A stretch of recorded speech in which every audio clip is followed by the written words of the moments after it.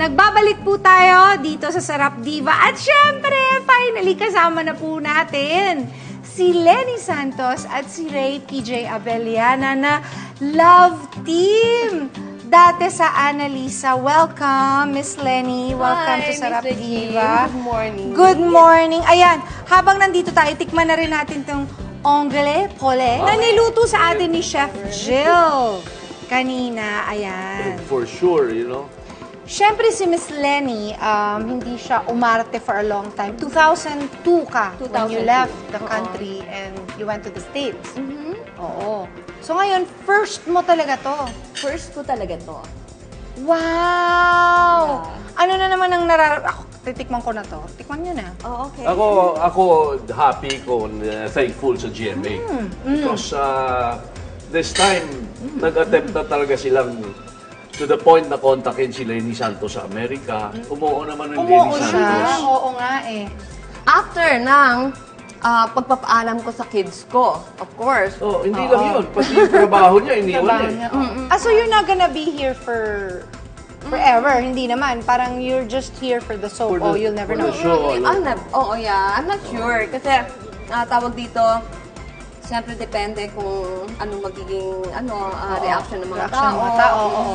Paano nagsimula yung love team ninyo? Kasi ang alam ko, nung pinapanood ko yung Annalisa, kay Annalisa ka eh. Tama. Di ba? That is the very first uh, approach there na i-team up muna sa kanya. Siyempre, oo, oo, sa oo. bida muna kagad. Mm, syempre. Pero pag alanganin yung review Oo. sa team up na yon, yun na, ililihis na ngayon yan sa Ililihis istorya. na. Pinair up naman ako kay Lenny Santos. Kay Lenny. Trial and error na And- naman again Yes. with Lenny, Lenny PJ. Oo. It worked out. It so worked that's And it. During the time, kontrabida ako. Oo, ang alam ko nga kontrabida ka doon. Oo, Pero oo. nung bandang huli, bumait ka na nga dahil nga nagkaroon Oo, na ng bumait love ako team. nung nalabi mo kay PJ, nagkaroon ng transition Oo, yung role. transition yung role. love kasi ako kay PJ noon. Tapos naging kawawa ka. Naging kawawa Parang ako. naging kawawa. Oo, yun ang Oo, nangyari. oo. So parang nag-twist yung character, di ba? Oo. From Mataray, from Contrabida role. Pasalamat ka sa akin, di ba? Pasalamat ka sa akin. Ikaw ang nagpabait sa akin. di Yeah. ba? Swerte mo, yeah. Eh di parang real life lang. Nangyayari naman talaga yun. Parang real life. Di ba Oo, nangyayari Totoo naman yan. talaga yun? It happens in No. real life. So, yun. Naging super close ba kayo noon? Nung- Hindi tayo masyadong Hindi kami close. noon. As in? As in, To the extent, hindi kami close, but then, click na click kami sa mga viewers. You know, it was it was one of my favorite ano series mm, thank you. on TV. Kasi ang tagal nun, simula siya bata hanggang nagdalaga eh. Yes, oh. 'Di ba? Ang tagal Doon, ka, nun doon eh. ako nagdalaga. Doon kayo nagdalaga Lahat lahat. sila, oh. Lahat kami. They started very young.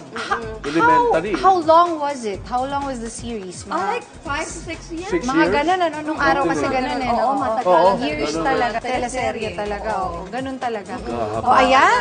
Di ba ang sarap? Sarap, sarap. di Sarap, ba? sarap. In fairness. So, pronounce mo uli. Anong, ano nga uling pangalan nito? Basta beef. Beef. Oh, Tama si Regine, beef. basta beef. Pero, Kaya, in fairness kay Chef, masarap nga. We thank her and uh, Sarap. masarap yung ginawa niya. Very good, very good. Recipe na to. Ayan,